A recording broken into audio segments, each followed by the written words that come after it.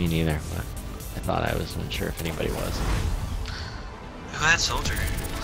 Acer the previous game. Game, Yeah, I think I think it was a soldier because I don't think anybody's gonna claim it. And I remember seeing a soldier. For that turret. I had never put it up